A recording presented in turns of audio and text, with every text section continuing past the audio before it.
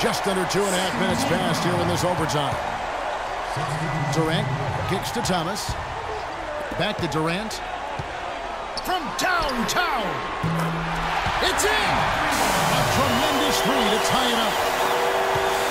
Somebody lit a fire under Kevin Durant. On the wing, Bryant. Stolen by Drexler. And now Orlando on the break. James gets to Kobe. Outside Wilkins. Drexler with the steal. Thomas goes in. It's good! There's the game-winning shot! Nothing but zeros on the clock as he drains the winner. What a finish. Celebrating the moment it had left his hand. And so the big win by Orlando in a tight game. Clark, what a game. Yeah, they kept their cool, stayed with the game plan,